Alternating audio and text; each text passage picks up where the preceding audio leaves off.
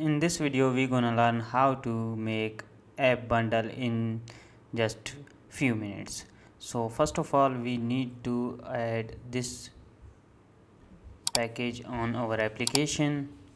So it's take a little bit time and when you scroll down you will see here you will see here Ado Android signing.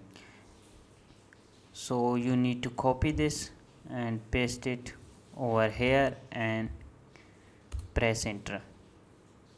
So first of all you need to uh, write your key in I will write test and in here cn is equal to your.com I will say saberdev.com and after that L will be your city. I will be I will write Rawalpindi. After that you need to C is equal to your country which my country is Pakistan so I will write Pakistan.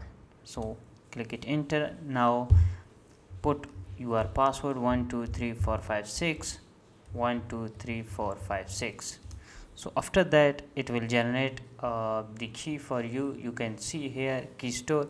And if we go to android and select on key property so here you can see your key property so this is simple video for AP uh, app bundle. So now right you can write here build flutter build app bundle.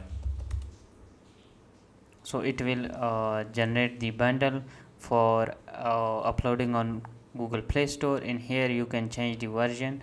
For example I will say 1.1.2 so this is so this is version code and when we change it here we also need to change from here 1.1.2 so it's take a little bit time. After that it will build a app bundle so you can put on uh, Google Play Store to upload your application.